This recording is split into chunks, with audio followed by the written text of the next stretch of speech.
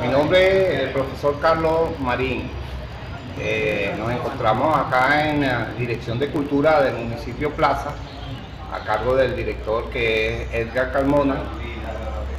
Y en el día de ayer, junto a los niños del taller de dibujo que hace vida aquí en la, Casa de, de la Cultura, Antonio María Piñate, hicimos la réplica del mural de los niños de, de El Tigre, en homenaje a todos esos niños por los acontecimientos que ya todos conocen a través de las redes sociales. De parte de la alcaldía del municipio Plaza y de la Dirección de Cultura, eh, este pequeño homenaje hecho en conjunto padres y niños del taller de dibujo de la Dirección de Cultura.